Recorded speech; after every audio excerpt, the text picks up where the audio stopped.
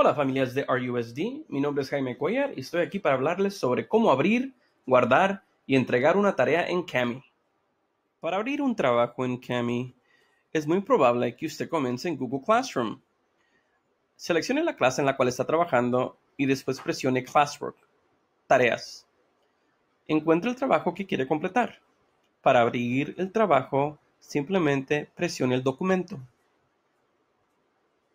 Aquí veremos dos opciones sobre cómo abrir el documento. El botón azul dice abrir con Kami es el método preferido.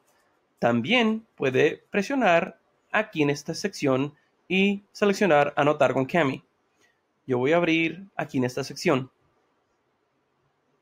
Y ahora usted podrá hacer las ajustes que usted necesite. Para guardar trabajo en Kami no tiene que hacer nada especial. Kami guardará todas sus conexiones, todos sus ajustes automáticamente. Si quiere entregar, simplemente presione aquí Turn In y después seleccione Save Now, guardar. Para entregarlo por Google Classroom, simplemente presione Turn In. Después presione Turn In de nuevo. Su maestro o maestra ya verá que usted ha entregado el trabajo en Kami.